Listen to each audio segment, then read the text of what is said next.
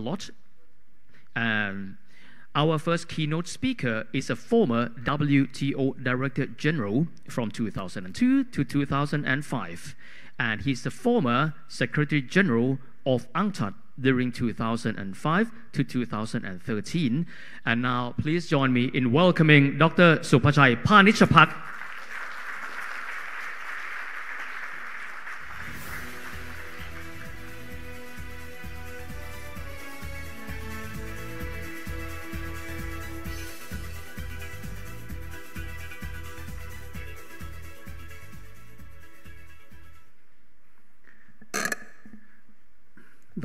Dr. Sopun Vice Minister for Ed Education, Dr. Kamalin Pinit Puadon, Director of the International Institute for Trade and Development. Dear friends and colleagues, ladies and gentlemen, it is really uh, a rare occasion that uh, these days I would have the chance to be speaking uh, at least about some of the issues which used to preoccupy me for more than a few decades, and particularly in the last decade when I was very closely involved with the, the rise, I wouldn't say and fall, uh, the rise of the multilateral trading system throughout the 1990s into the beginning of the new millenniums, and now uh, I don't want to predict the demise of, of the system. But when I heard the MC announcing that we are going to have a fire alarm test, I thought he was meaning it meant it for the global trading system. Fire alarm test. It actually made me think that uh, something like this kind of test a sort of a fire alarm test should be also instigated uh, in the case of the, of the multilateral trading system and also globalization.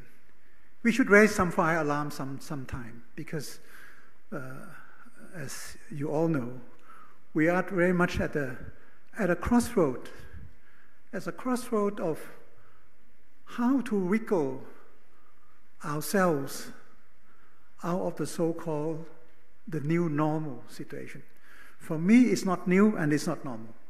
But people call it new normal, so I use it new normal. It's not new because situation like this happens way before when uh, during the times of the GATT, when we didn't have the World Trade Organization, people just went their way to have their own kind of trade liberalization efforts that more or less, more or less, uh, uh, has left out uh, the rest of the world, which has been the South, the European countries. And the GATT has been called a sort of rich man club, things like that. We changed that. That's why I said the rise of the rise of the of the global trading system after 1994, 95, when we actually established the World Trade Organization, was really a, uh, a significant time.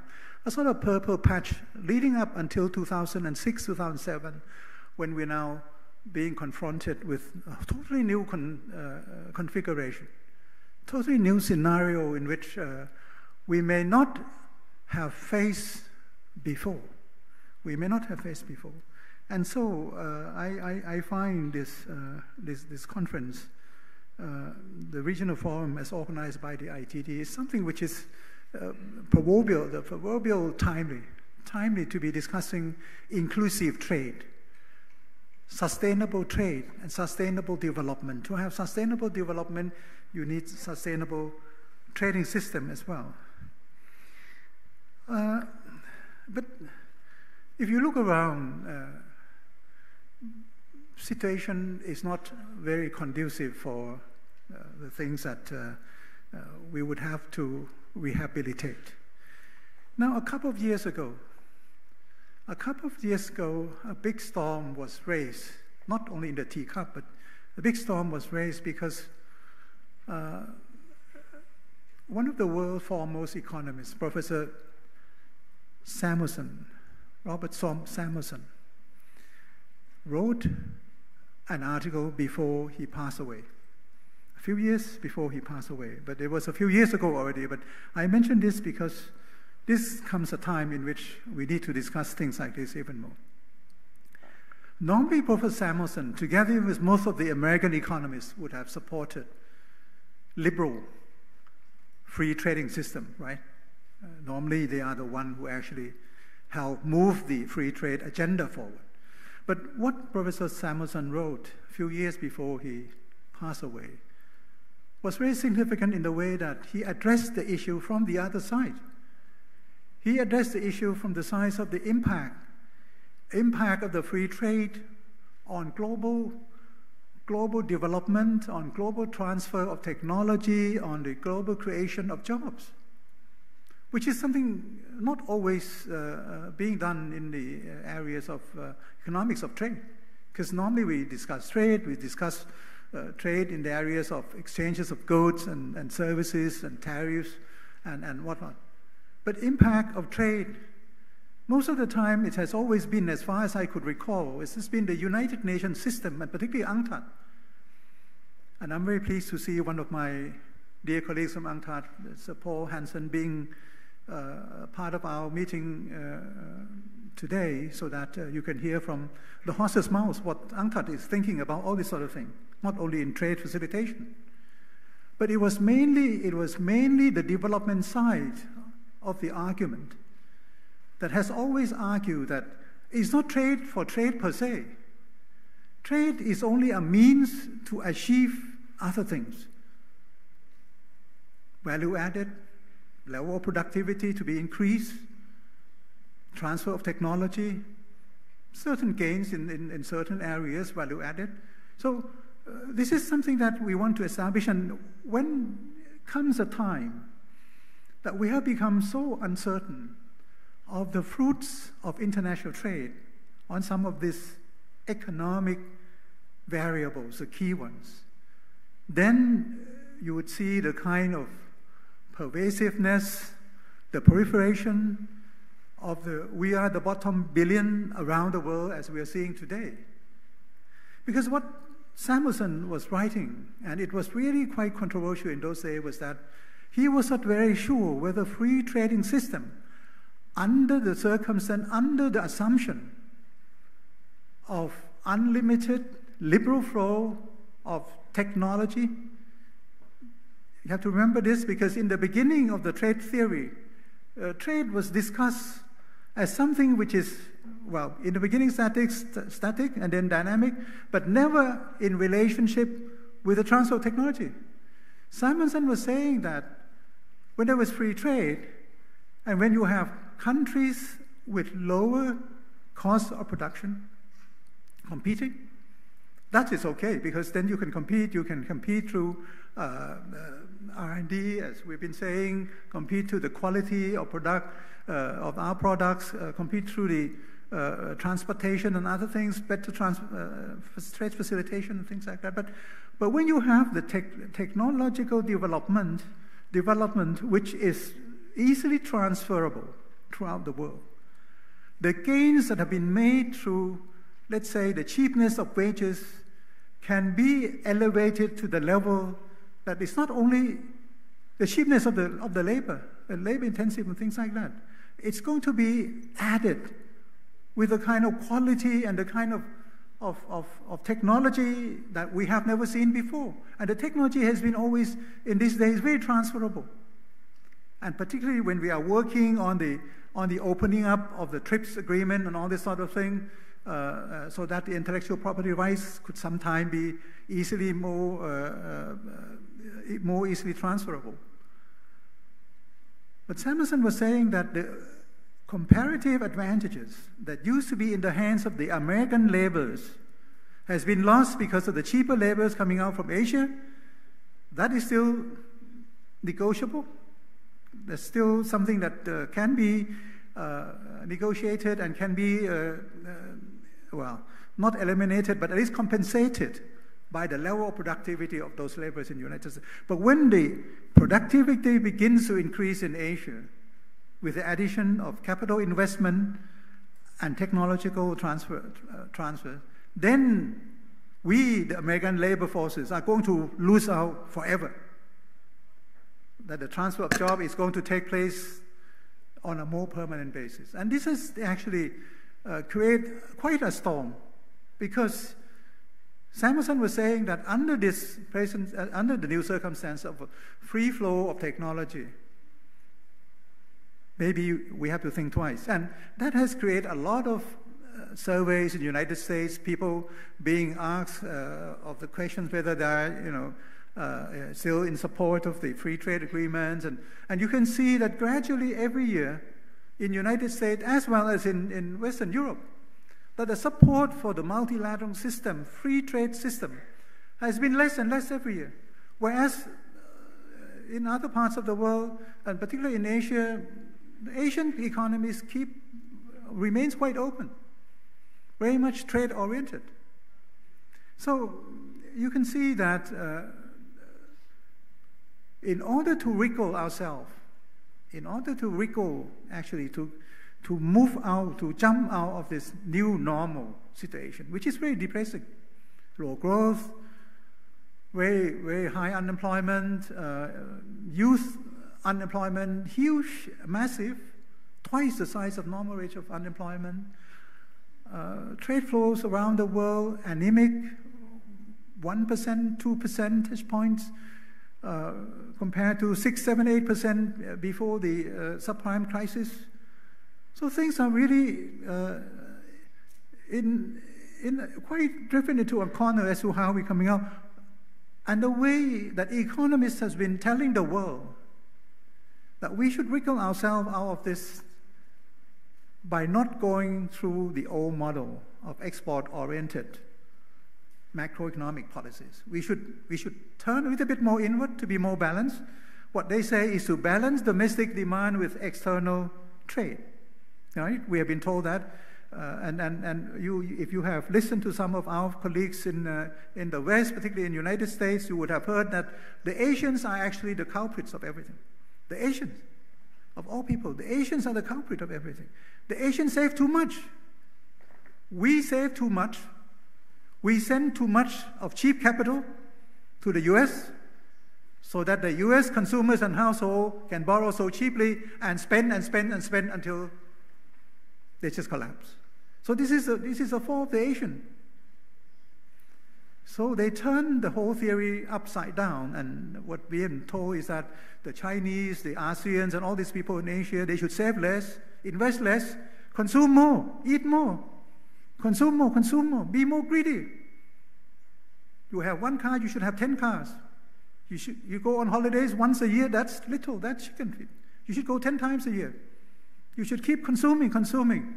And that should help bring back the kind of reflationary impact that we need. Now, this is a theory that I don't know how to call it a name. For me, it is just so much of a nonsense, although it's quite accepted. Uh, I have said this since the time I was in Geneva that I don't accept this theory that we have been saving too much, that's why we create all these problems. Right? The problem is that those who consume don't save at all. You see, they turn it around. Those who consume so much, they did not save, they use borrowings to consume. Why the Asians, they save, they consume, they invest so much investment, so they create excessive capacity. Yes, the Chinese, Chinese at the moment, the biggest problem in China is how to wind down the excess capacity. Problem for Asian economies as a whole is that they have been investing heavily, and now they have to wind down some of this investment. Particularly now, this day, last few weeks, and I just had a meeting with friends from China during the the Boao uh, the conference. You know the Boao conference Boao conference, and let me digress a little bit. Boao conference is something like the Davos conference for Asia. Davos happens in Davos, Switzerland. Boao takes place on the island of Hainan uh, in the south of China. It has been 16 years. You might have not heard of, you might not have heard of Boao, but it's been around for 16 years. It has been something of a, of a sort of uh, Asian and the rest of the world getting together same, same concept as at Davos, but it's uh, uh, maybe a lower profile. But for the first time, Boao came out of Hainan, came out of China, to be, uh, uh, to be organized here in Bangkok for the first time. It's Boao outside of China. It's Boao Bangkok. So Boao Bangkok took place uh, last week. I'm saying this because uh, there were economists, friends uh, from China, former trade ministers and uh, deputy prime ministers who came over to Thailand, and we were discussing.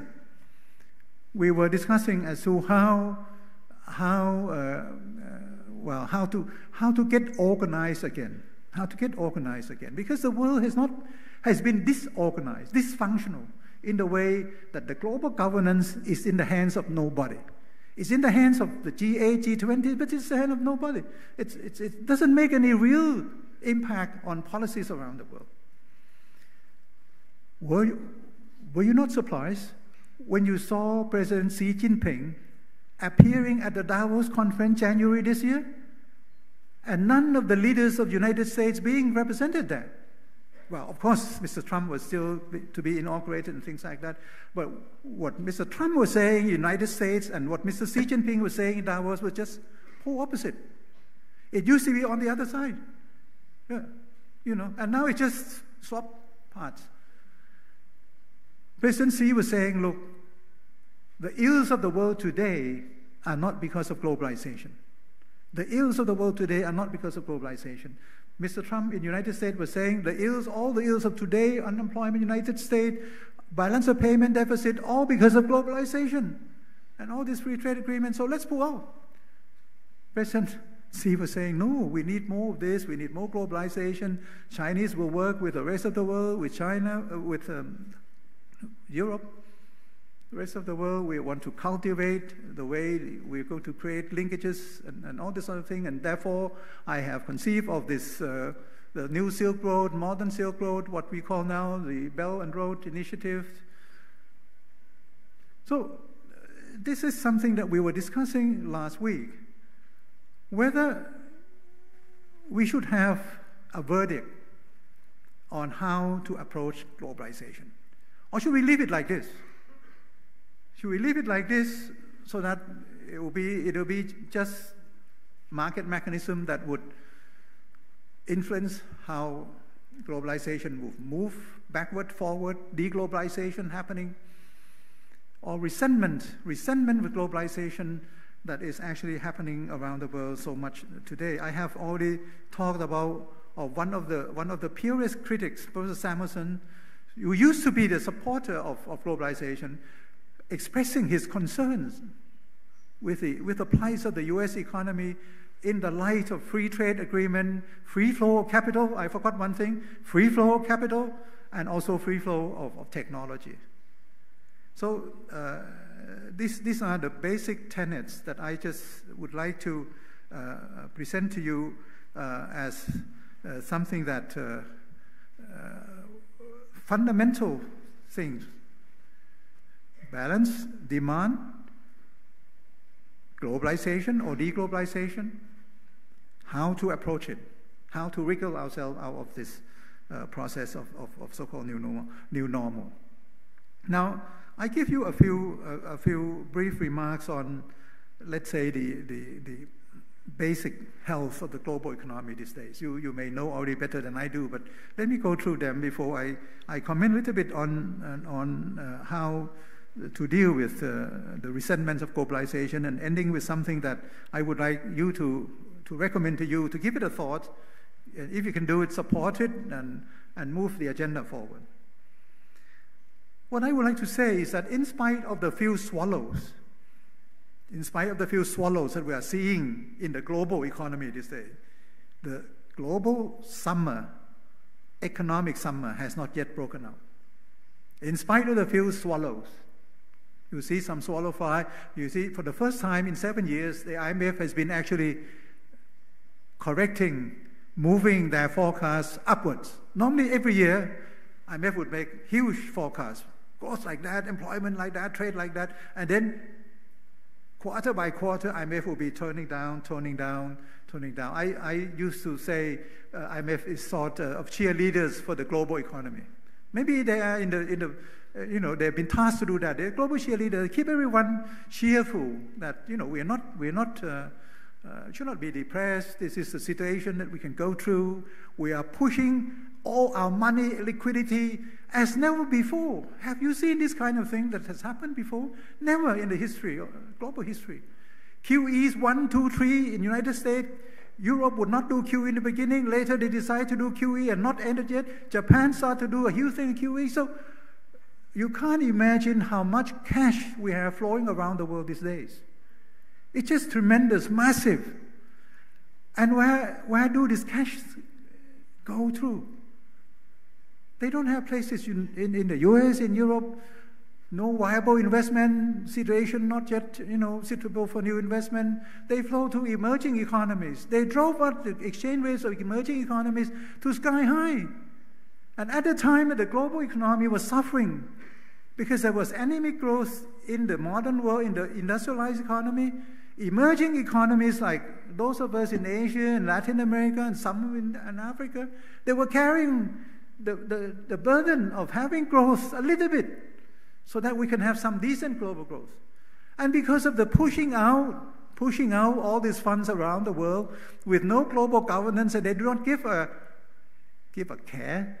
They don't give anything about, not worry about where the, the funds will flow to. So all these currencies, exchange rates of the poorer economies, emerging markets, shot to the roof. And so they were stifled in the way they could trade more because with, with rising uh, exchange rates level, they lost their competitiveness. And so some of the key economies like Brazil, you can see Brazil going from one day being one of the you know, economies of futures into today economy that is just mines all sorts of, sort of difficulties and recession after recession. See, only Asia now moving forward with three, four, five, six percent growth uh, that, that could be maintained. But you can see that the way that we are correcting this trend of new normal and deflationary condition is not, is not really the right way. How we could address, and, and the swallows that we are seeing uh, today, swallows in the United States economies, uh, that the Fed in the past two years could have raised four times the, the interest rates to now a bit over one percentage point, I think, uh, 1.25, 1 to 1.25. Today, the Fed Reserve, Federal Reserve, Yellen, Miss Yellen, has come out and tried to warn the world that look, I mean, this is this is going to be something which is gradual. Uh, we're, not, we're not trying to tell you, all the world, that we have already actually overcome all our difficulties. Uh, that is just what I read, uh, from, read from her messages some weeks ago when they, when they have this uh, money market committee meeting at, at, at the Federal Reserve of the United States. It's not for sure that the twice increases in interest rates in the United States this year will be followed by two more because they plan for four increases in interest rate. The signs that Ms. Yellen is saying that we may not be doing this interest rate rises again, it means that the US economy is still not back to the same old health. It may have been able to sit up on their bed, but to start running or even to think of competing at the 100 meters run is not possible.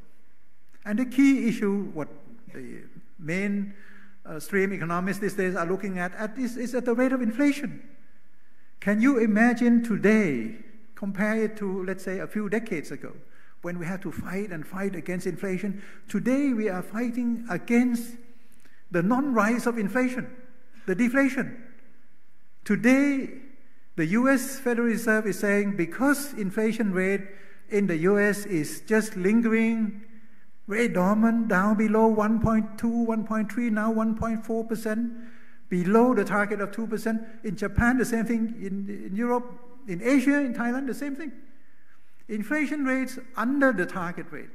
And so all economists are worried. This again put me into a lot of, a lot of uneasiness. Because as, a, as an economist trained in the, in the school of central banking, I, I rejoice. I just rejoice in seeing that we are living in a situation where the threat to the livelihoods of the poor people because of the uh, rising inflation. is not there. We can do many things. Our, our money has, stab- has stability. They're not losing value every year because if inflation would have gone up so high, we would be losing the, the, the, you know, the, the power of money every year, the value of the money. So now we're okay. Stability in the exchange rate markets, also all right, because inflation rates are not so high, so the effective real exchange rates are more or less more stable than before because the movements in, in, in, in, in, prices are not that uh, strong, not that uh, destabilizing.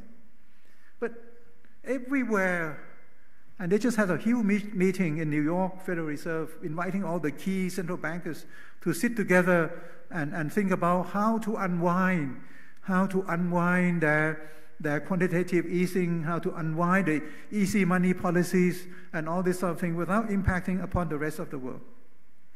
But I'm saying that because of this sign, the swallow in the United States is not the real summer. Not yet, not the real summer yet. And people are now doubting. That's why the stock market in US and in Asia is just, again, rising up quickly because with no interest rate rise, it means that uh, uh, people can put their money into this equity and, uh, and, and, and invest more into those areas without fearing uh, the, the rise of interest rates. You look at Europe. Now, uh, I have some European friends around here, I guess, but I, I've always been straightforward with Europe. Europe would need to take care of itself. Europe cannot be a burden to the world. I'm saying this, I'm not European, and some are European, well, they never like when I say this. If you cannot take care of yourself, you will be a problem to the world, Europe. Why?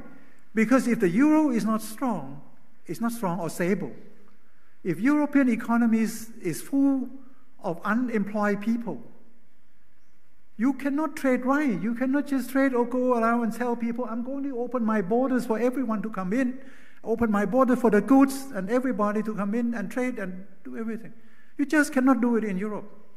And you cannot even guarantee how the euro will survive the kind of discrepancies between different economies in Europe.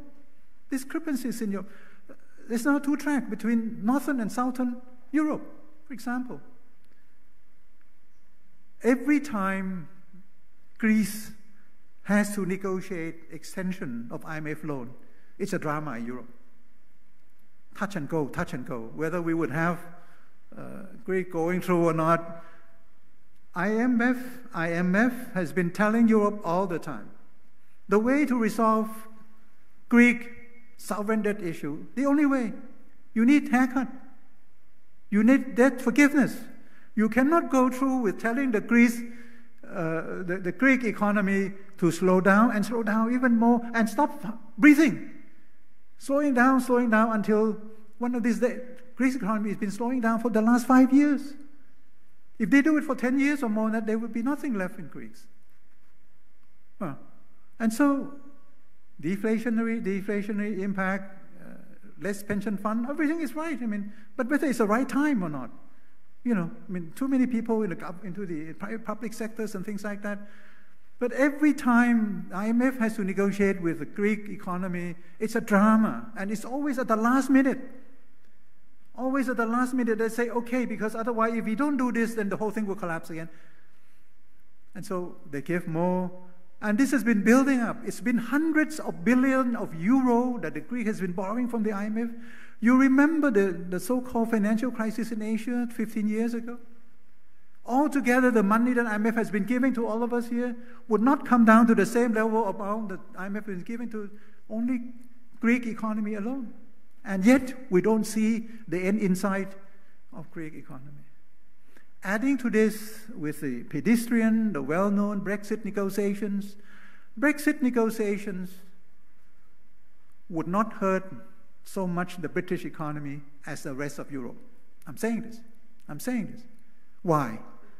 Because then the, Brit- the British economy on their own, they would have more leeway of doing things that they think they can do it besides outside of the European Union. For example, having, having more deals on a bilateral basis with the rest of their common, with the rest of their Commonwealth grouping. With India, for example, They could not do it because within the EU, they cannot do more of the FTA deals. So they're free to do more deals. They're free to come and trade more with Asia and trade more with China. And look at the way, look at the way Europe has been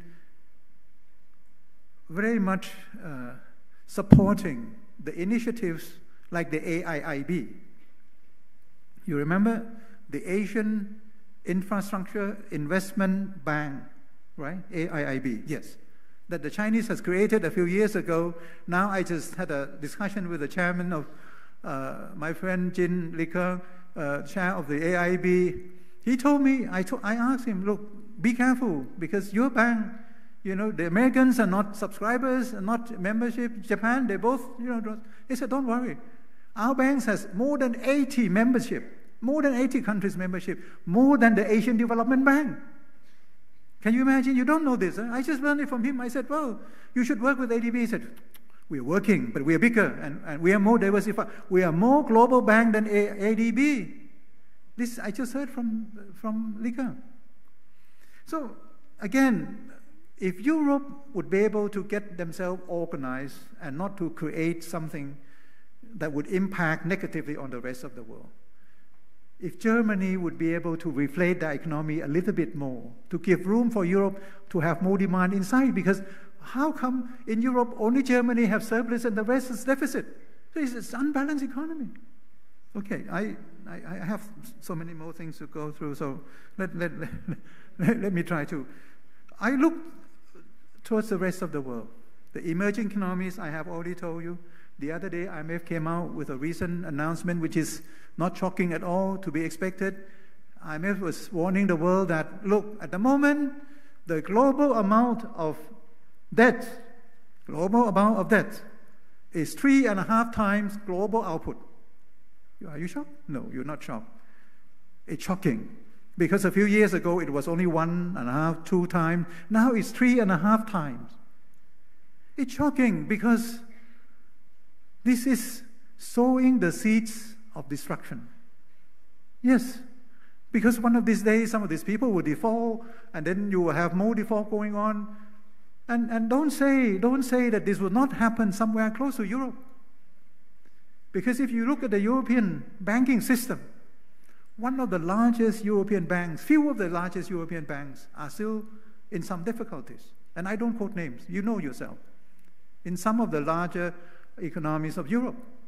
And inside the system, the stress test has not really been very helpful because the stress test has not been done along the same line as the US stress test for the financial system. I can say this. And so the health of the emerging markets economies have been also deteriorating.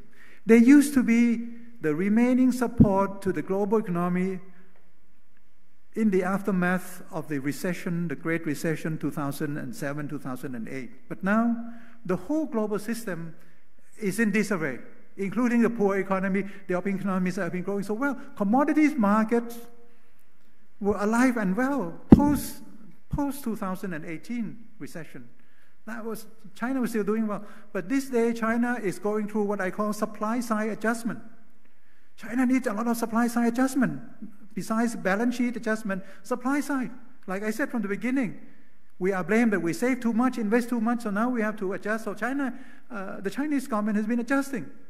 But it takes longer time than, than people believe. So uh, just uh, adjusting, adjusting to the way the Chinese economy is adjusting itself is, is, is, is a problem for developing countries that depends on the commodities market. That the commodities market this day is still not really in the doldrums, but not moving up oil prices moving up and down, so the rest of commodities are not doing so well. So we do not see uh, a lot of movement uh, uh, in, in those areas. And you can see that although we do not want the world economy or world trading system to be concentrate or, or centric on any US centric, Europe centric, or China centric, on anywhere else, it's, it's moving in the direction of China more and more that the Chinese economy more and more will be determining the way global trading system is going to be operated. Why? Because of the kind of global value chain the new, I wouldn't call it new, it's something that we just realized it. It's been around for so long, but the global supply chain, regional supply chain, the value chain has been around all these years. The international, the international trading system has been actually uh, driven on the basis of the supply chain. This is, this is obvious. People are saying now that most, I would say more than half, 60, 70% of the global trading system is now supported by the, the supply chain movements, that people trade within themselves, their own companies, that people produce things in different places in their network of production around the world. There's no one that produces everything uh, in one go. So, uh, when one major part of the value chain slow down, like the Chinese economy, then the rest would also be affected. And of course, global value chain has been dominated by the Asian regional value chain in Asia. 60 70% comes from the value chain in Asia. So actually, the Asians determine all this, and when China centric kind of trade development in Asia uh, uh, is uh, predominating, you can see that uh, why China is adjusting. Uh, the situation is very much un, un, under, the, under the cloud. So, uh, to, to add all this with the uncertainties coming out of the so-called geoeconomics and geopolitical agenda, then you see really something which uh, it may not look like the, the 1930s uh, Great Depression. It may not look like uh, the situation uh, before the, uh, the First or the Second World War, but the kind of change of power that is taking place. You know, the change of power. In those days, I think it was the demise of some empire in Ottoman or I don't know what, uh, perhaps. And now the change of power from west to east, from north to south, it, it's a new kind of globalization. It's a new kind of globalization. It's not really a kind of deglobalization that we are fearing, because globalization is actually drifting, is drifting more on the so-called exogenous factors, like the way we improve our logistics, transportations, communications, new inventions all the time. These, these are all things that create connectivity around the world that is all exogenous. Nobody can do anything to it. You don't stop people inventing new things. You don't stop people traveling, uh, communicating, listening to each other, following the news, and everything. So, globalization is exogenous, but transforming into something which is not the same generation of globalization is in the past. And this new form of globalization, we all hope at UNCTAD, some time ago, we've been trying to generate the debate of, let's say, let's try to push the new form of globalization into the arena of development led globalization or development centered globalization, or what here at ITD you might call it inclusive, inclusive trade, inclusive globalization. This is what we all try to, to do. So I'm saying this so that we would not lose hope that we're seeing new forms of globalization. Globalization that would be funds injected not by the capital intensive economies, richer economies of the North, but by the South. If you look into the fund flow this day, there's a reversal of fund flows from the South to the North, from the East to the West. Because, because all these reserves of the global economy this day are being accumulated in Asia. China now doing very poorly because China used to have 3.9 trillion US dollar reserve.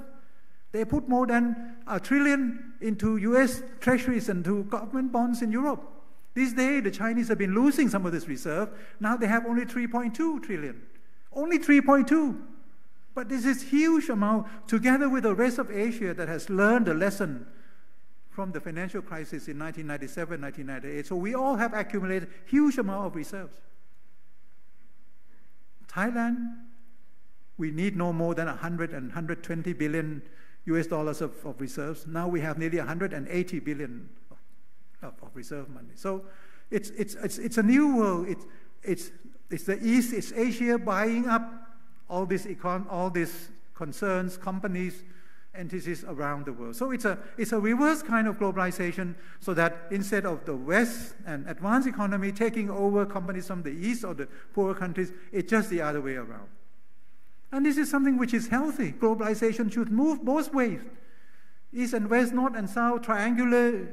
You know, it should it should be everything in balance, not, not anyone playing the role of a hegemon or somebody dominating the, the rest of the world. So this is a kind of trend we are seeing. But of course, uh, all these geopolitical issues uh, in, in Asia, in the Middle East, in the Eastern Europe, they're not very much helpful. So uh, we, we have to take care of all these things. Now, the impact on, on, on globalization, what we are seeing uh, Trumpism, United States, uh, you're seeing uh, one of the prime minister in Europe, I think must be a Hungarian prime minister, talking about Ill, illiberal democracy. Uh, he is right. I mean, democracy is still democracy, but it's less liberal than before. Maybe I don't know. But they are saying that we are just uh, having illiberal democracy. It's it's a kind of me first mentality. Me first mentality. It's never gone away. You know, the me first mentality. It's a creed of us we first, our region first, my home first. Uh, what we say, charity always starts at home. You know, this is the thing that at the global level we try to paper it away. We say when, uh, when I went to in, uh, my former reincarnation to all this G8 or G20 meeting, they all say the right thing. Back at home, they say different thing. Still, we're seeing this. So I have been saying all this all the time that let's do away with all this G8 and G20. They're not creating any value added to the, to the whole global governance system. They're just delaying the way we should re-establish the global governance in, in which we all could participate. You, you, you seen the last uh, G, what is it, G20 meeting in Hamburg? What they were talking about? They were talking about Trumpism, talking about how to deal with climate change that Mr. Trump is trying to change. I mean, he cannot change it immediately. He's just making some noises. But it takes time. If the US want to withdraw, they cannot withdraw because it's written in the uh, agreement that they have to stay on until, I don't know, a few years forward. The G8 meeting in Ise-Shima last year, I think in Japan, uh, they were talking about what, you know? They're talking about Mr. Cameron's problem with Brexit. They were cheering up, they were saying we should vote. And G, G, G7 was saying something which is the British part, saying that they should support Mr. Cameron. And Mr. Cameron lost, lost out. And that's what all they, they did. Nothing about how to reflate, how to regenerate growth in the global trading system. They didn't even think of inviting China to join. How can you have G7 meeting talking about the global economy and just pushing out the elephant in the room, just leave it there and not discussing? It's just not going to work that way. So, again, uh, the rule-making exercise that all these mega deals uh, we are talking about, oh, I think not here, but it's the challenges, the challenges of the rising, I don't know, populism and protectionism. And the way that we are seeing some of the major economies trying to push, uh, let me say frankly, and as a, as a former employee of the the World Trading uh, World Trade Organization. Maybe I should not say this, but anyway, last year when UNCTAD was meeting in Nairobi, UNCTAD 14, I was saying to this to uh, in front of Roberto Azevêdo, my old friend from the WTO. This is an existential threat to the multilateral organization like WTO, not to the UNCTAD, to the WTO. If we all will be trying to make our rules outside of the multilateral trading system, multilateral uh, institution like WTO.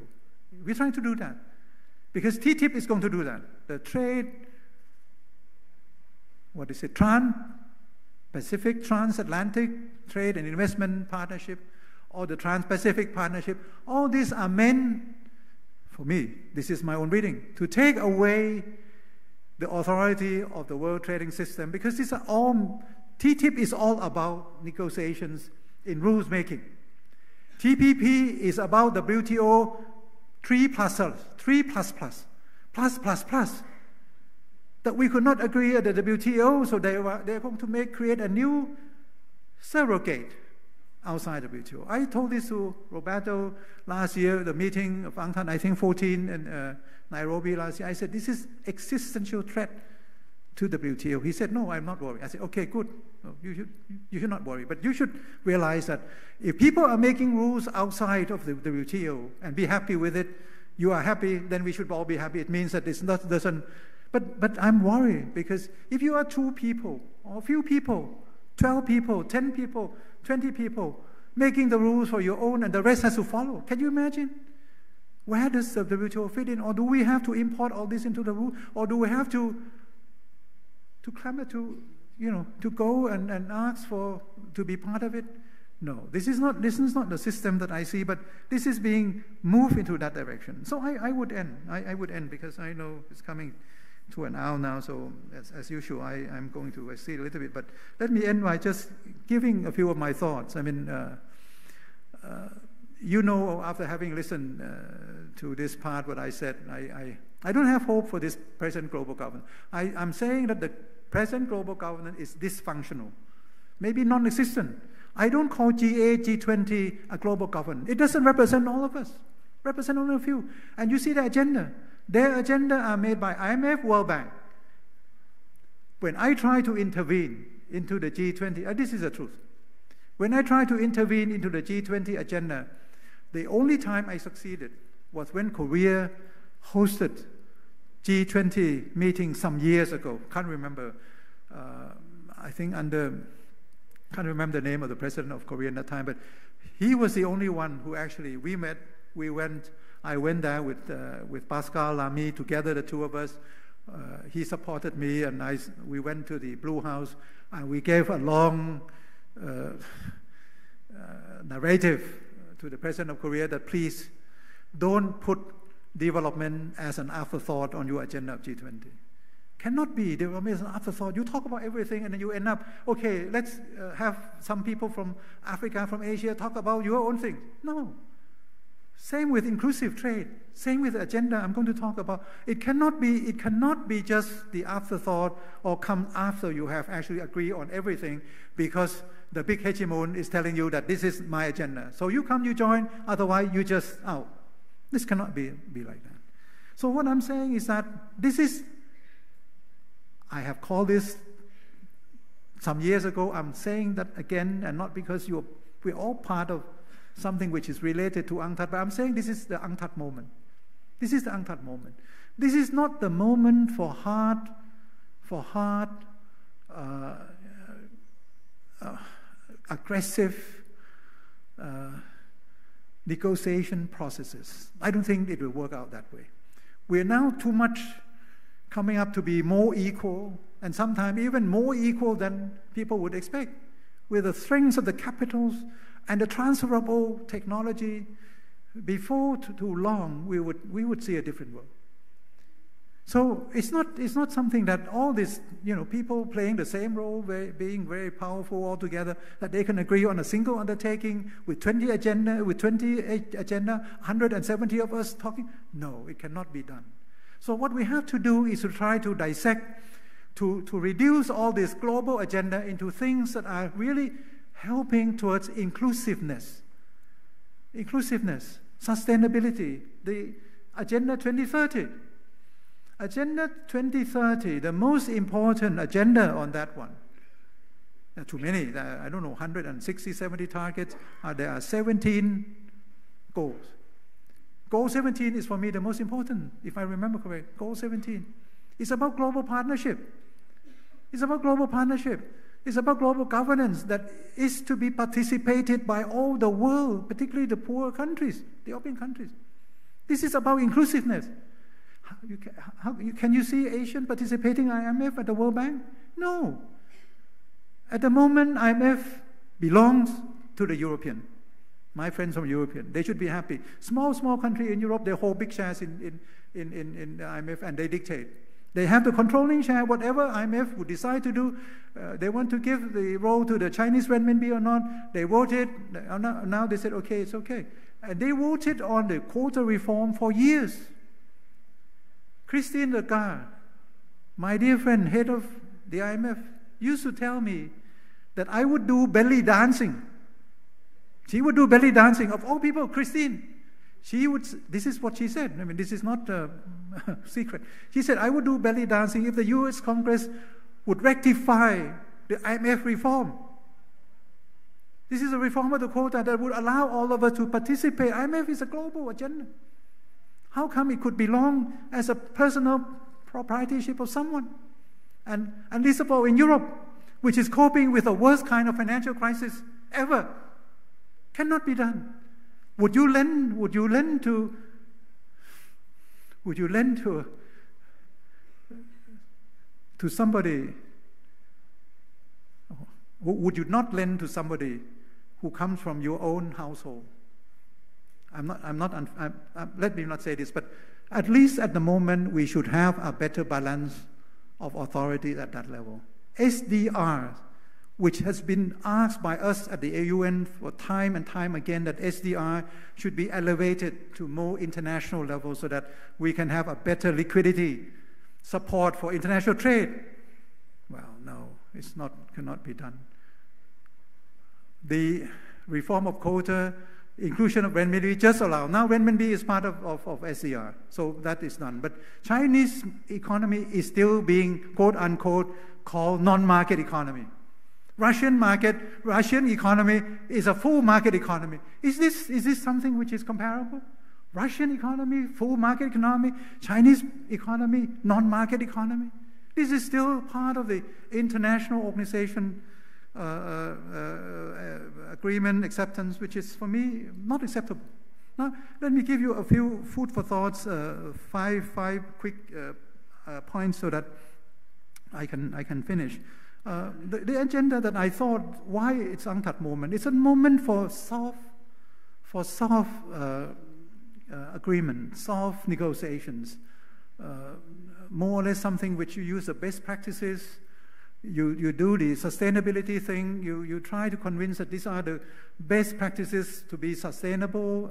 You know, what UNCTAD has been doing, sustainable stock exchange, uh, uh, sustainable investment, things like that. So these are things. The first thing that came to my mind is, is something that in Asia today and in poor countries around the world, the application of geographical indication.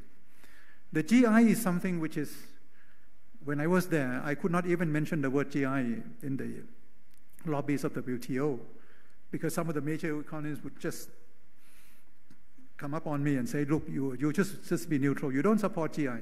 GI must be supported. GI registration, GI elevation to the global is much needed because I, I don't know if you know, I mean, in Europe, you, they have 3,000 or more than that of GI registration. In Asia, we have a few hundreds. Maybe in India, you have more. In India, you might have a few hundreds. In Thailand, we have about 100 or 90. And we're beginning to, to have GI registration throughout Asia. And the French government has been very, very helpful cooperating in help because the French are the, are the one which has actually the, the largest number of GIs registration. So, and GI helped to increase the, the premium price on, on some of the products. It gives proud and pride to the place. It, it, let, it let the community survive. It's good for the community development. It's good for food security because normally GIs are food related things. It's a food things. It's a wheat, it's an egg, it's a, I don't know, textile. So, uh, first, my first point is that uh, we, we need to promote geog geographical indication, registration, facilitate it, have more agreement among countries that we recognize each other. Europe now recognizes a few GIs from Asia, and this is a good thing. We should do this around the world. The second one is about the new configuration of economic integration. I don't want to even say today that we, we should have more free trade agreements. Free trade agreement is just very partial, very partial. You have a few food, you have a few goods that could be trade. What we should be doing now, and people are saying this all the time, they use the word partnership for everything. It's now economic partnership, it's Trans-Pacific partnership. It's a, it's a, it's a, what is it? RCEP is a partnership, a regional comprehensive economic partnership. It's all partnership. It's all partnership because we want to make economic integration inclusive. It must be partnership because not all are equal. When you take them all up, they cannot all abide by the rules. I mean, uh, look these days at the way ASEAN is being driven by two track. CLMV one track and the rest one track. And when I, when I criticize TPP, I criticize TPP for one major thing. TPP never takes up the poorest part of, of ASEAN into negotiation. They don't include the CLM. We they, CLM, we has been included. CLM, Cambodia, Laos, Myanmar were never part of the TPP. So that's why I would say for Asian to be doing economic integration together, it must be a comprehensive economic integration. It must include trade, economic development, finance, mobility of people, river flows, uh, network of, uh, of uh, energy, everything all together. It must be like a regional development plan for the region. So this is one thing, and, and this actually, uh, I don't say that I influence, but this, what we have done at UNCTAD with UNESCO, we've done the Silk Road kind of thing way, actually, way before the One Belt, One Road. My colleagues from UNCTAD could testify to this. We've gone to several meetings together, but we want to drive forward the revival of Silk Road not only purely on pecuniary economic benefits alone. We want it to be cultural. UNESCO was part of the cultural thing. UNESCO was actually the progenitor of all these ideas on, on, on the, the, the revival of, of the Silk Road. And we did the work on the revival of the trade routes along the, the, the, the, land routes and the sea routes. We even have meetings somewhere outside of China in Korea because Korea used to be part of this maritime Silk routes as well. So, uh, so these are the new configuration of economic cooperation. The, the Silk Road, the, the Belt and Road is actually an economic integration exercise. Formerly, it would have been called a free trade agreement, but if it had been called a free trade agreement, nobody would have gone to the meeting in, in Beijing the other day. But when it's called Belt and Road and connecting Asia through, through Central Asia to Europe, now train runs from, from China, Chongqing, to London uh, in 16 days. It saved nearly two months instead of going through the other side of China. So now it's only once a week. I was told it's going to be twice a week, and then it's going to be nearly every day and things like that. So it's happening really, the, the, the land links with, with, uh, from Asia to Europe. And so these are new configurations which we should all support. They should not have to be negotiated, but supported by the work of the likes of, of UNCTAD, for example. The third point is on e-commerce. I'm saying this on e-commerce because we all agree, and it was discussed here, and you're going to have a good session. I, I really very curious of what will come out, because I'm very concerned with, with the new digital economy that is coming around. The new digital economy is going to be the word they call is the disruptive. It will be more disruptive than we ever, ever have thought of. It will be more disruptive. Don't say that, oh no, I mean, it would not, it would create this, it would create jobs, it would create value. It would be disruptive. But it could be disruptive in a constructive way. It will be something like Schumpeter's kind of thing, deconstruction in the old days. You remember? Schumpeter used to say that when we have new innovation cycle, it's deconstructive. It's destroy the old modes of production, but it creates new one. So this is something that we should create. But I raise this because of the but. Because of e- e-commerce, the whole of e-commerce scenario today, it covers not only commerce, it covers logistics, it covers finance, money, it covers the cloud, the, the, the cloud computer, big data, Internet of Things, artificial intelligence. And those who own all this technology are just a few huge multinational firms. I'm just saying this because I want UNCTAD to look at this issue keenly. Maybe they have done this already in their investment report or something like that. Because if you look at the, the largest and most powerful corporation this day compared to 20 years ago, just a whole new scenario. We don't see the old style, big corporation today anymore. These are all big, huge Google, Facebook, Alibaba, I don't know, Alphabet, all these new names. And all the top five, I think, all the top five have all been fined, F I N E D, fined, penalized by international uh, uh, arbitral uh, entities already, by Europe, by United States, one way or another. They've all been fine because they're too big, they're too powerful. They do search engine here, they use it to something else. And now, what, what, what worries me the most is that they all have collected all our data, all, our, all your data into what they call the, the, the, the, blockchain kind of thing. You, you have all your data. In the future, uh, bankers are not here, but uh, bankers, they know their fate, uh, you know, going to, uh, I don't know how it would uh, end soon, but anyway, they have to, to metamorph into something else because because the rise of the cashless society will be also not really a full demise, but we'll be phasing out the financial system as we know. But ultimately, the control by all these MNCs. Some of us are now thinking of doing what we call social, what is it? Social assessment or personal assessment, something like social personal adjustment assessment that you all, we all would have instead of all your license, uh, you, you, you know, in Europe, I think they have this uh, driver's license, and you, you, have to score. If you have, you know, done something wrong, they would score you on that. And if you have too many, too many mistakes, you've done so many violations, you, you'll be taken, uh, you'll be taken out of the relation. You cannot have the license anymore. You cannot drive. Now, they are doing this in some areas, in some countries that I was told, and I wouldn't mention name of the countries. In some countries, people say, "What is for somebody, uh, some male who's courting uh, the family's daughter, they would ask, "What is your score on the personal assessment card?" Your score. If your score is below is below seven from ten, just just you, you don't count. You have to score eight or nine. If you want to borrow banks, if ever be banks there, you have to score more than eight or nine to be able to score. And many things. If you want to apply here and do things, all the things now, all these are in the cloud and everything in the blockchain and all related programs that can control this. And they can use face, they can use person. So it's, a, it's something which is beyond. And so we have to begin to think of, we cannot limit all this.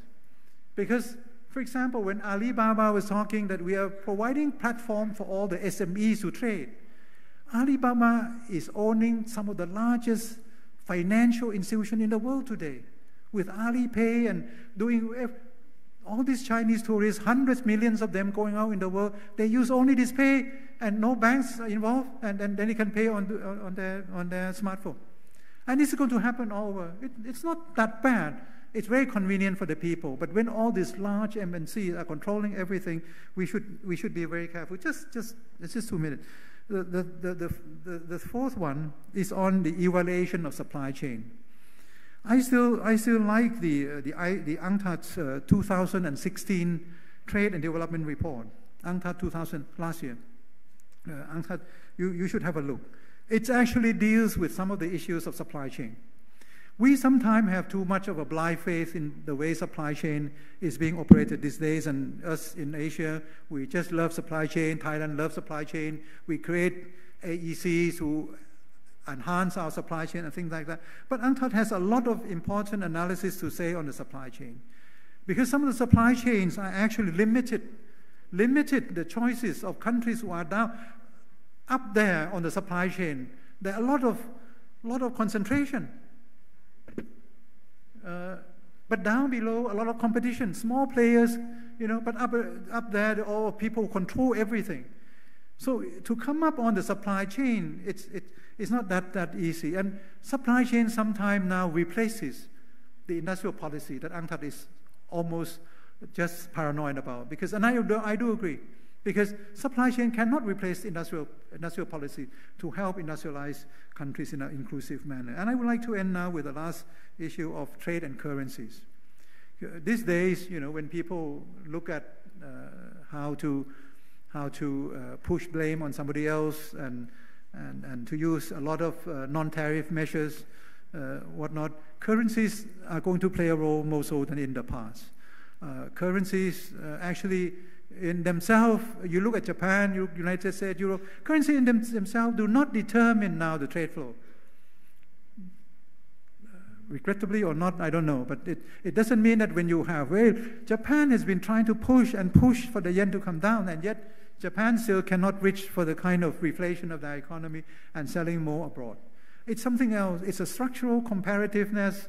Uh, it's, it's, it's, a, it's an education, investment in human resource, and something else, it's innovation. It's, it's many other things. But countries are using exchange rate manipulation as a, as a, as a ploy to, you know, uh, beggar thy neighbor kind of policies and to, to limit trade and put constraint on trade. This is not really justifiable. And of course, in Asia this day, we have learned with very sad lessons from, 2000, from 1998 that we would not allow excessive borrowings, particularly in foreign currencies. So all these Asian economies that have been hit in those days are all accumulated huge reserves, huge reserve. And so gradually our currencies will be influenced because of the movement of the way we try to accumulate and reserves. And so there will be intervention by government in, into this exchange rate uh, market. And it will be difficult to pass a verdict on who is doing manipulation and rigging the market or not. And I, I just would like to advise that I don't think you, the WTO can actually deal with it. There have been efforts when I was there in Geneva to try to have some thoughts of some some some thoughts uh, provoking processes, uh, dialogues on uh, on currencies war. But it's not really the place to do it. It's IMF and maybe UNCTAD and the UN could initiate, you know, some sort. UNCTAD has always been having the kind of good uh, uh, solution for this. UNCTAD has always been saying that in order to prevent currency war, we should have some codes of conduct. Codes of conduct. Code of conduct is not really a fast rule. I said we, we need soft laws, the kind of UNCTAD laws that people can look at it, you use it, you don't like, you don't come to it. But if you like it, you can come together. Nobody forces anybody to come to the meeting. But at least, like in Asia, if we all are going to go through our appreciation of currency, we might as well go together and having a balanced, stable relationship among all these countries. And it would be better than just having the IMF telling us what to do and not to do, and most of the time they, they would be wrong. Thank you very much for your attention. Well, thank you very much, Dr. Supachai Panitchpakdi, the first keynote speaker. He really offers a new